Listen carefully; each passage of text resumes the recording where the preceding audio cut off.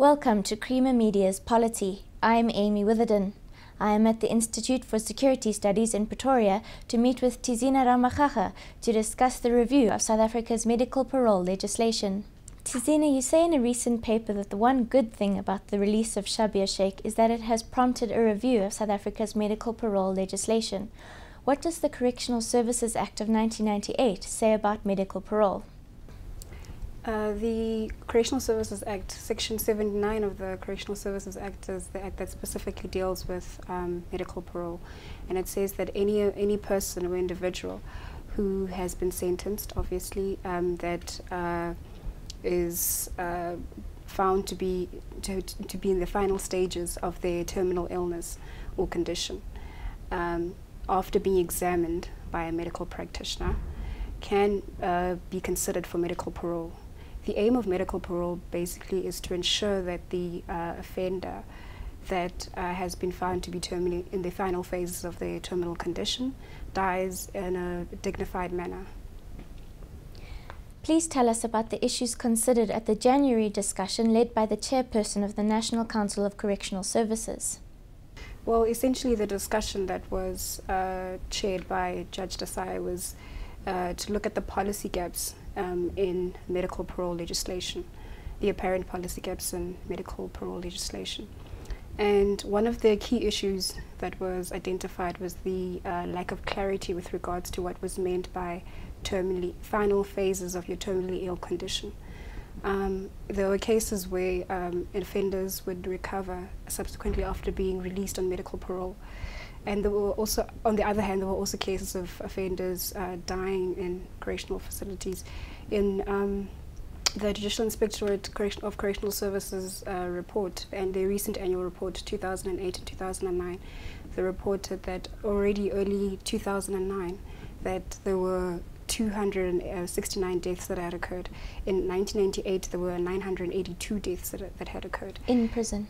In the correctional facility. So this is according to a report by the Judicial Inspectorate of Correctional Services. It's their recent annual report. Um, and obviously po that points to a lot of uh, issues with regards to the definition of terminally ill or finally final stages of a terminal illness and as well as the application um, of, the, uh, of that piece or that part of legislation. Another issue that was discussed was uh, considering like what happens if uh, offenders recover after the um, after they had been released on medical parole. Should they be reincarcerated, um, or should they be placed on correctional supervision? What should be some of those issues were discussed, and if they were placed on correctional supervision, um, they had to consider issues of public safety, community safety, uh, problems that the victims might have um, if uh, the offender is released, of, is put on correctional supervision. What do you make of the Department of Correctional Services finding that 60% of offenders released on medical parole actually make a full recovery, as well as the Judicial Inspectorate of Correctional Services report on natural deaths in prison? Does this suggest that the parole process is flawed both for those who do not receive medical parole and those who do? Well, I haven't seen the report. It hasn't been made public, um, so we're, we're relying on media reports that we've seen. Um, that 60%, there was a time that they reported that it was 65. So we haven't seen the research report, um, so I'm not aware of how they report, how they reached the conclusion of that it was 60% of um, medical, of individuals that had been released on medical parole recovered. But I think that um, assuming that you know, uh, assuming that the report is accurate, um, I think we also have to take into consideration that the, there's a reason why the um, the process took place in the first place, because the department does acknowledge that there are flaws um, with regards to how uh, medical parole is uh, legislated, first of all, and how it's it's been conducted by the parole boards. There are flaws, um, and hence the review process. And I think they're aware of the um, findings of the Judicial Inspectorate of Correctional Services of the number of deaths that are reported, the internal issues with regards to healthcare services and so on. They are aware of those uh, issues, hence the, the, the, review process. There were a number of health workers and so on that were present at the meeting. So I think they are aware of the internal problems for the for individuals that are within the facility, as well as individuals that are released um, outside after or the release on medical parole. Have any concrete resolutions come of this review? Don't know if we can say they're concrete resolutions yet because this was a consultative process. Um, so they were still deliberating on the issues with regards to legislation and um, implementation. So uh, we can only wait for the draft report, which will be av made available, I think, uh, before the end of this financial year. Um, I think the, the department also mentioned that um, this matter needs to be you know, uh, cleared out before the end of this financial year, which will be the 31st of March. So we could only wait for the draft report and see what resolutions came out of the draft report, because um, this was a it, it, it, this was a consultative. We were consulting a number of people, uh, stakeholders, to decide on the matter.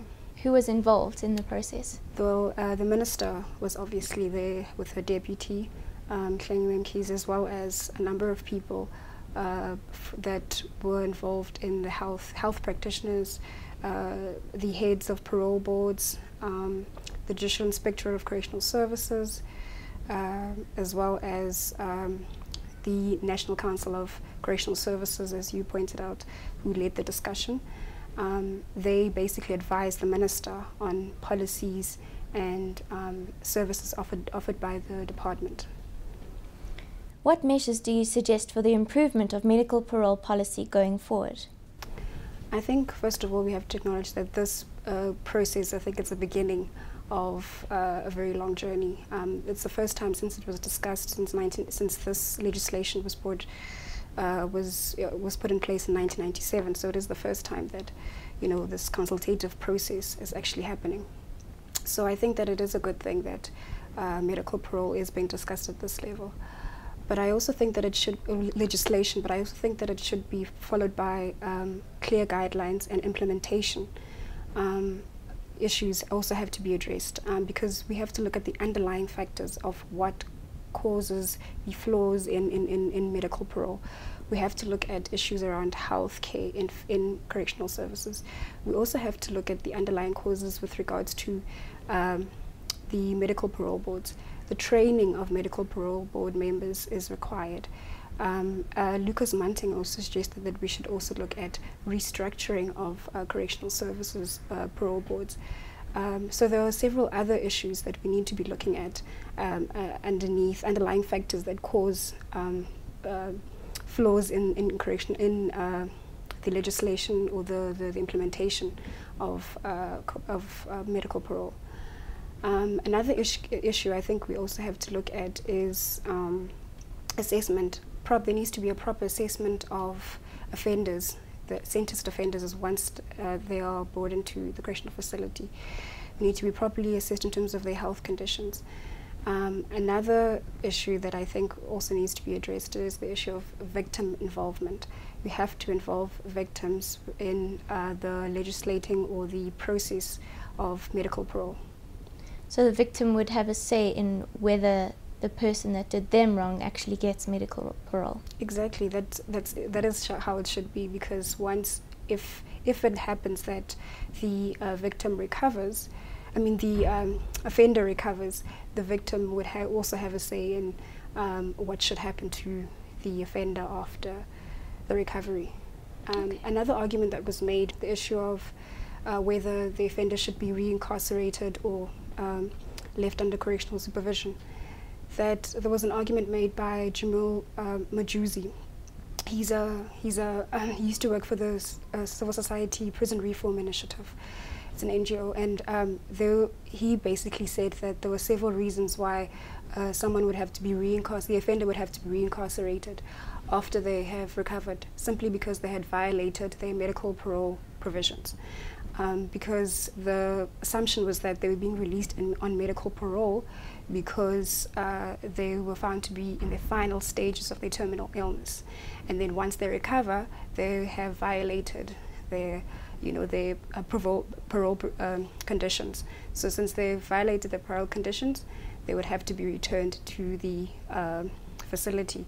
But uh, are also we also have to look at other issues or cost implications for the for, for the department uh, if if that occurs. You know, already, they already have issues ar um, around healthcare provision and overcrowding, which has been an issue for the department for a number of years now.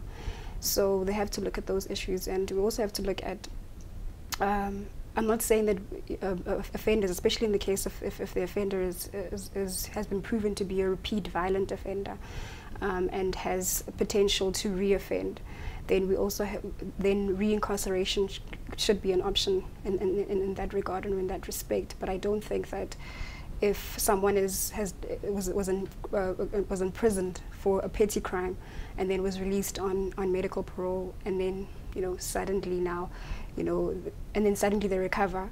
What should be done after that? Should be they be reincarcerated or should they remain under correctional supervision? They don't. They, well, they're not a danger to society if uh, they are. Uh, if, if they are freed because if they are left under correctional supervision because you know they were convicted of a petty crime um, not they don't have a history of reoffending so I think those are the issues that we need to be looking at um, when you're looking at uh, reincarceration or correctional supervision, the type of crime that the person was convicted for.